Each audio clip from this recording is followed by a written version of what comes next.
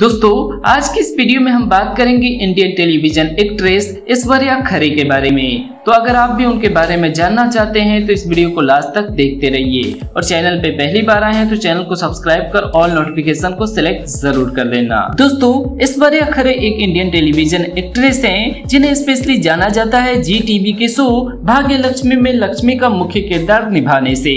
इसके अलावा उन्होंने बहुत सारे टीवी सीरियल्स में काम किया है, जैसे की शाम दाम दंड भेद जाने क्या होगा? रामा रे, विस्कन्या एक अनोखी प्रेम कहानी, ये है चाहते। ऐश्वर्या खरे का जन्म मध्य प्रदेश के भोपाल में हुआ था। उनके पिता का नाम रवि खरे है, जो कि पेशे से एक भजन सिंगर हैं, और उनकी माता का नाम सुब्रा खरे है, जो कि एक रेडियो अनाउंसर के साथ एक एक्ट्रेस भी हैं। और अगर हम उनकी शुरुआती पढ़ाई की बात करें तो उन्होंने बोनाफाई स्कूल और संतरेसा स्कूल भोपाल से अपने शुरुआत की पढ़ाई की है।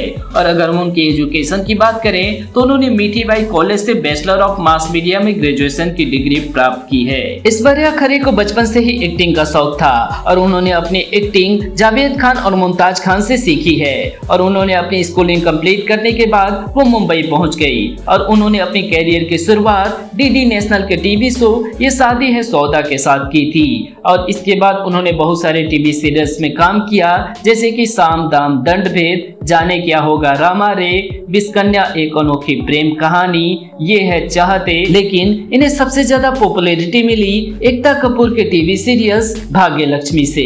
अब हम ऐश्वर्या खरे के फ़िज़िकल स्टेटस हॉबीज और उनके फेवरेट थिंग्स के बारे में बात कर लेते हैं। तो अगर हम उनकी हाइट की बात करें तो उनका हाइट पाँच फीट छह इंच का है, और अगर हम उनके वेट की बात करें तो उनका वेट 58 किलोग्राम का है, और उनके आई और हेयर का कलर ब्लैक है, और इसके अलावा उन्हें पेंटिंग करना डांसिंग करना और ट्रेवलिंग करना बहुत ही ज़्यादा पसंद है।